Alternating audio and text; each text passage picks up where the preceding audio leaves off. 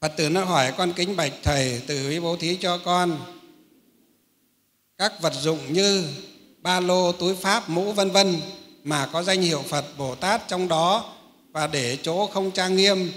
Như vậy phật tử chúng con có bị tổn phước không ạ? À? à, mình những cái đồ đó mình phải để nơi trang nghiêm chứ. Nơi trang nghiêm. Nếu mà đội mũ ở trong mũ mà có chữ a di đà phật ở trong mũ thì khi vào nhà vệ sinh tốt nhất mình cũng nên để ở ngoài cái túi đeo của mình có cái chữ a di đà phật á, khi vào nhà vệ sinh á, lúc tắm rửa vào nhà vệ sinh tốt nhất mình cũng nên để ở gì? Để ở ngoài. À, thì đừng có mang nó vào đấy. Cái túi mình có cái có có phật và có gì? Ảnh có hình phật và có gì? Chữ a di đà phật trong đó. Tốt nhất cũng đừng mang vào trong gì? Trong nhà vệ sinh. Cũng đừng có đặt xuống gì? Xuống đất bẩn.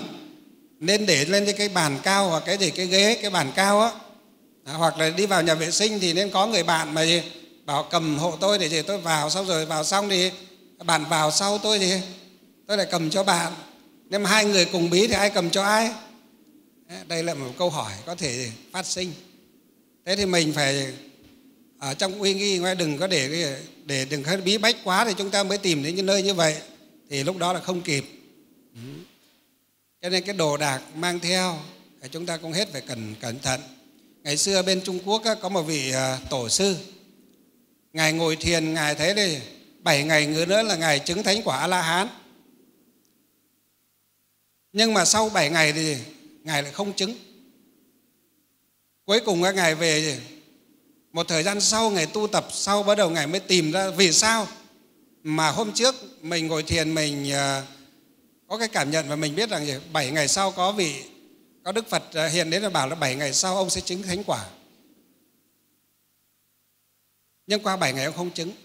Và ông ấy về ông ấy thiền định ông nhìn là cái lỗi của ông thì ông chúng ta biết lỗi nào không? Cái lỗi của ông cái một hôm á trong cái ngày thứ bốn thứ năm gì đó à, ông à, vị sư ấy mới đến một ngôi chùa lớn.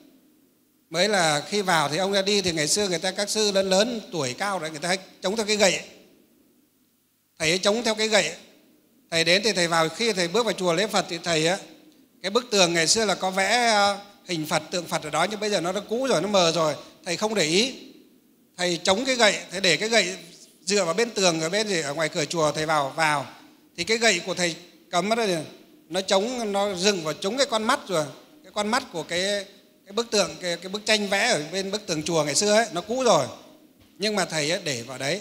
Cho nên do cái lỗi đấy mà sau 7 ngày thầy không chứng được thánh quả a la hán cho nên chúng ta thấy à, học phật chúng ta phải cần và rất phải tế nhị ở chỗ đó. Những cái gì chúng ta đặt xuống đất những cái gì chúng ta có thể à, để linh tinh thì chúng ta để. Những cái gì mà có cái sự thành kính thì chúng ta tốt nhất là gì? Chúng ta nên thành kính. Ví dụ như là cái mũ này cái túi này à, rồi các giờ có cái gì có tranh ảnh hoặc là câu phật hiệu trên đó tốt nhất những cái nơi à, ô uế như trong nhà vệ sinh chúng ta không nên đem theo vào. Ừ.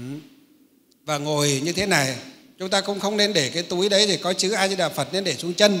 Hay trong túi chúng ta mà có kinh sách á, thì cũng không nên để xuống chân của chúng ta để chúng ta ngồi lên trên. Hay cũng không được ngồi lên trên cái túi có chữ a di đà phật. À, mà cũng không được gối đầu lên cái túi mà có chữ a di đà phật chúng ta cũng không được gối đầu lên đó. À, đấy gọi là kính phật. Kính mọi lúc mọi nơi kính trong cả cái gì? Cái danh hiệu của ngài kính trong cái gì? Cái chữ viết lên danh hiệu của ngài thì chúng ta mới gì? Mới không phạm lỗi.